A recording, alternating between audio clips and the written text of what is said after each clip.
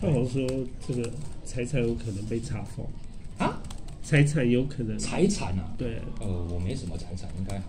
对啊，反正我们是把这件事情解决了，没有到那么严重啦，就是把事情解决就好。为什么要查封什么东西呢？对啊，就呃，反正现在走律到就看法律怎么解决，我们就用法律来解决就好。还记得我跟我老婆在餐桌上聊到做麻辣烫这个这一段的回忆，我印象很深。就是有一天我们吃晚饭，我老婆知道我很喜欢吃吃麻辣烫，然后我一直在我一直在念说，嗯，我最近买的麻辣烫都不太好吃。她说，那我们自己来做一个。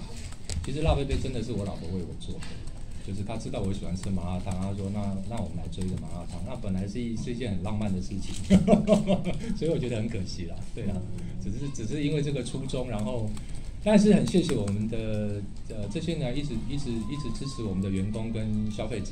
你们有计划再重新开一个品牌？我老婆很多想法啊，这个要问她了。对我老婆，我老婆是她是她是很好的这个气气气化人才，但是我觉得我觉得看看吧，我觉得我觉得我们先先把这件事情处理了，对，处理先把这件事情处理了，然后然后对啊，处理完之后我们再再想一想，对。他好像说这个财产有可能被查封，啊，财产有可能财产啊，对，呃，我没什么财产，应该还好。对啊，反正我们是把这件事情解决了，没有到那么严重啦，就是把事情解决就好。为什么要查封什么东西呢？对啊，就呃，反正现在走律到就看法律怎么解决，我们就用法律来解决就好。女儿大学是他有想说要念大概哪方面的课？他想念音乐科系，嗯，对，那那我们一我们是鼓励他说，我说音乐有很多层面，那看你喜欢哪一个层面。那不一定要去，比如说不一定要去学从乐理啊或者什么，因为现在音真的音乐有很多层面，你比如说音呃音乐的气化、音乐的行销，或者从编曲，或者从甚至乐理，你要从基础学，我觉得都可以。那就看他喜欢从哪个角度去切入，对我们都很我们都很支持，都很开放。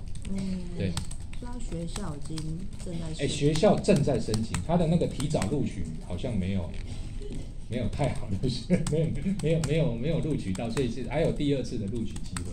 对，大学申请好像是这样。对，他现在篮球还有在打吗？没有嘞，他现在没有打篮球了，他现在打高尔夫跟游泳。